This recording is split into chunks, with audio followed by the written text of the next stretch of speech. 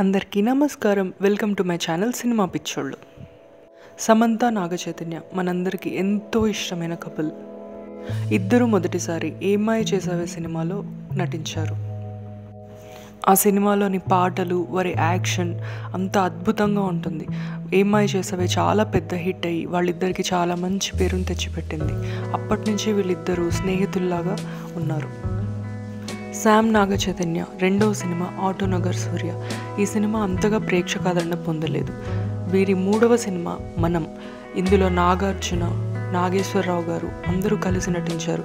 ఇది ఎంత పెద్ద హిట్ అయిందో మనందరికీ తెలుసు.